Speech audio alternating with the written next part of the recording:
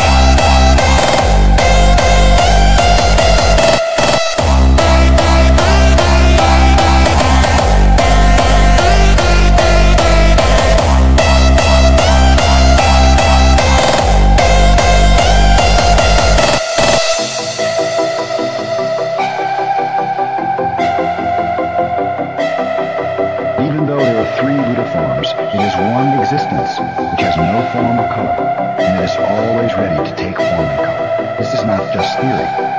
This is not just the teaching of Buddhism.